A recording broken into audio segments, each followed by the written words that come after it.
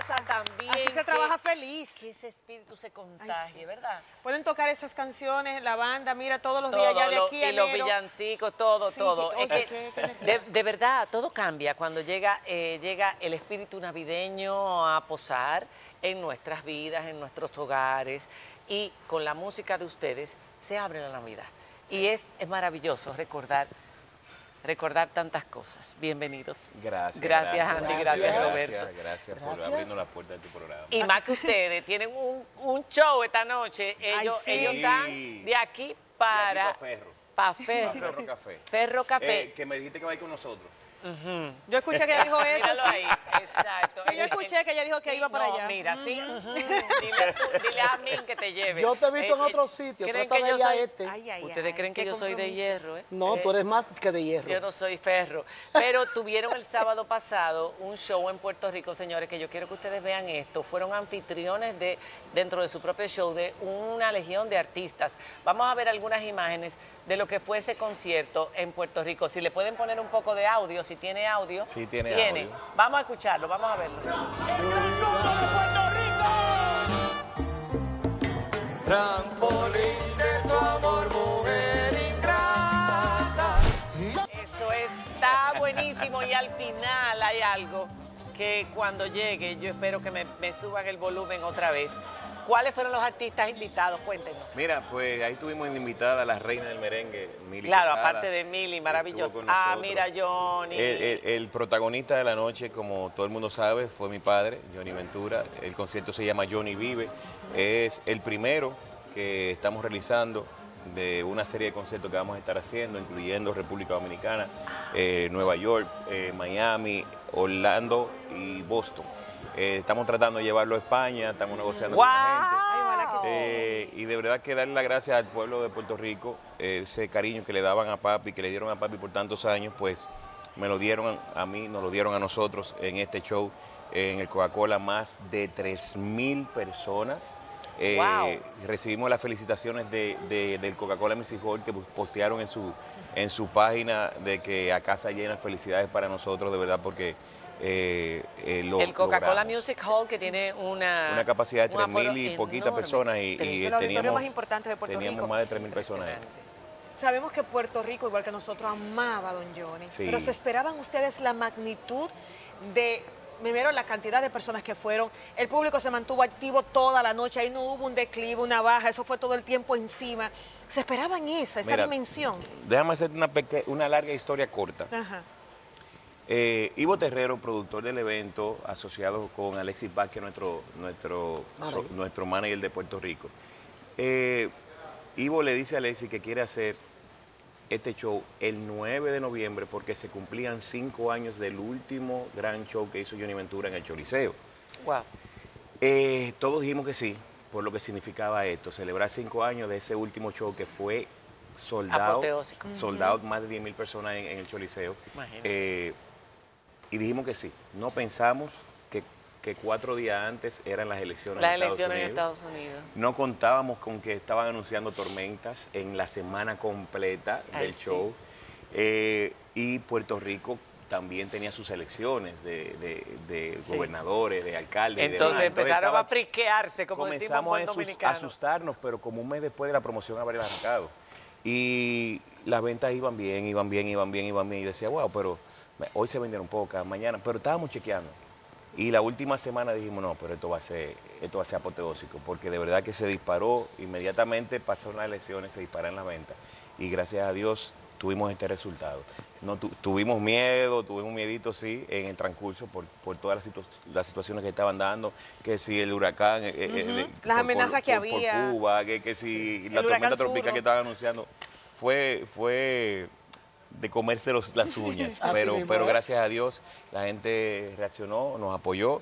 Eh, yo no tengo palabras para agradecer a Puerto Rico, para agradecer a Ivo, para agradecer a Alexis, para agradecer a todo el equipo de trabajo, a este batallón de músicos que, Es un que no fue, no fue ese día que se ganaron los méritos, fue el mes antes que duramos eh, ensayando todos los días.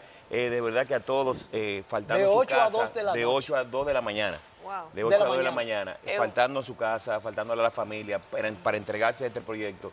Y de verdad que ¿Y yo creo se que el gran mérito lo tienen ellos. ¿Cómo se sintió eh, estar ahí delante de tanta gente y en un día tan especial que se conmemoraba algo?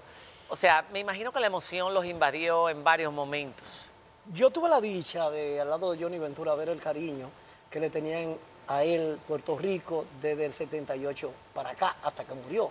Sí. Y Johnny llegaba a Puerto Rico, nosotros sabíamos hacer en dos meses eh, 40 presentaciones, nosotros tocábamos, habían dos giras a Puerto Rico, Dios la, mío. de, la de entrando el año y despidiendo el año, porque el 23 de diciembre nosotros veníamos al país desde Puerto Rico. Wow. Tocábamos de todo. Entonces, la manifestación fue maravillosa, pero más fue todo el trabajo que René Brea René. Brea con la producción. Utilizamos, Ah, allá en Puerto Sí, Rico, René, muy bien. eh, eh, dentro de nosotros, eh, para ese show, René se la lució con la inteligencia artificial, poniendo a Johnny Yo no quería decir mucho, pero papi habló, Sí. papi cantó, O sea, papi Sí, con el público. Wow. Eh, ¿Cómo? hay muchas cosas Eso que hoy en día se pueden hacer y que, que René, gracias a Dios, lo logró. Así mismo es. Y el respaldo de Puerto Rico fue masivo, al igual que el respaldo de todos los dominicanos que se dieron cita. Porque cada vez que se decía República Dominicana, se, se venía levantaba abajo. medio, medio, me- medio Coca-Cola Music Hall. Y todo el mundo se unió en un solo abrazo, todo el mundo apoteósico, todo el mundo esto es grandioso. Mira, algo que yo quiero resaltar, Roberto, a nivel personal, fue el apoyo que me dieron todos los artistas, tanto los que fueron como los que no fueron. O sea, recibir un mensaje de Gilberto Santa Rosa Ay, tan a las bello. 7 de la noche, antes de tú empezar el show, eso como que Ay, tan bello. te, te- o sea, te, te llena de, de tantas Sí. emociones. Pero así mismo me llamaron después de Rafa Rosario, que estuvo hasta el último momento a, a punto de Y ir, que no pudo Rafa. ir. Rafa, Eddie, eh, o sea, todo. Fernando me llamó, terminando el juego de, de, de Licey y Águila en Nueva York, me llamó. Tengo que felicitar. o sea, que Ay, qué eh, bueno. agradecerle a todos, a todos los que tomaron ese tiempo, Peñasuazo, a, a Quinito, todos los que sacaron dos minutos para escribirme.